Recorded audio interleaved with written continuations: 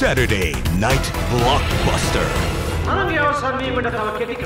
හැත්තෑ පස්වන අභිමානවත් නිදහස් සැමරුමට පිදෙන තේජමාන පරපුරක සිංහාව ලෝකනයේ පෙළහර.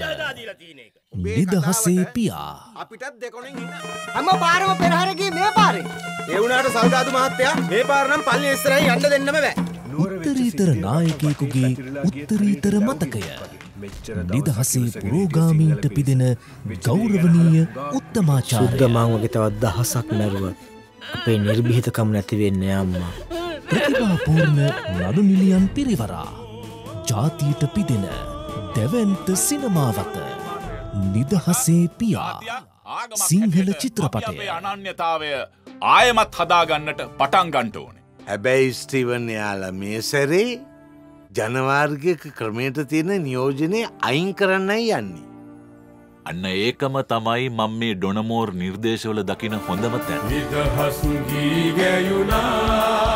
ඩස් මාත්මය වගේ නායකෙක් හිතල වැඩ කරපු නිසා තමයි. අද මේ එන හුළඟි පවා අපේ හිතට ලොකු නිදහසක් දැනින්. අපි නිදහස් තමයි. ඒත් සුද්දග හිත තාම නිදහස් නෑ. නිදහසේ පියා හෙට රාත්‍රී දහයයි තිහට